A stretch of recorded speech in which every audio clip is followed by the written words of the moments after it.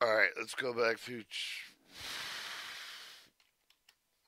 All right, your weld operator's circular for welding theory application reporting errors recommended improvement is TC nine two three seven.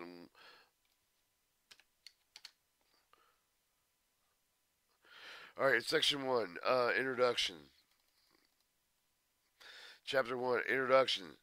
Section 1 General Scope. The training circular published you with the personal concern with the welding and other metal joining operation with the manufacturer maintenance of the material. Description circular contains information outlined before introduction, safety precaution, welding operation, printing, reading, welding, simple joint design, preparation, metals, um, welding, cutting, and equipment of welding techniques, metal identification, electrode filler metals, um, maintenance, welding operation, military equipment, arc welding, cutting process, oxygen, fuel, gas welding processes, special applications, destructive, non-destructive testing.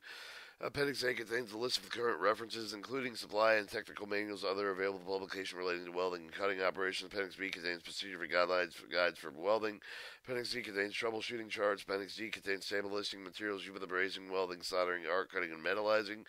Appendix E contains a miscellaneous data of the temperature range, melting points, and other information not contained in the narrative portion of this manual.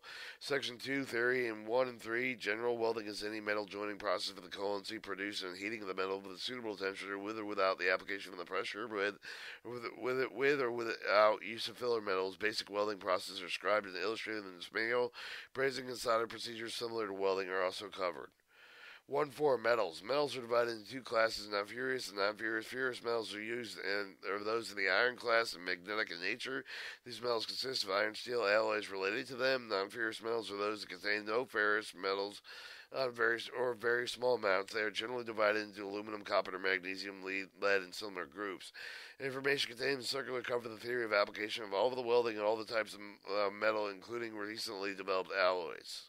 Chapter 2 Safety Precautions of Welding Operations. Testing.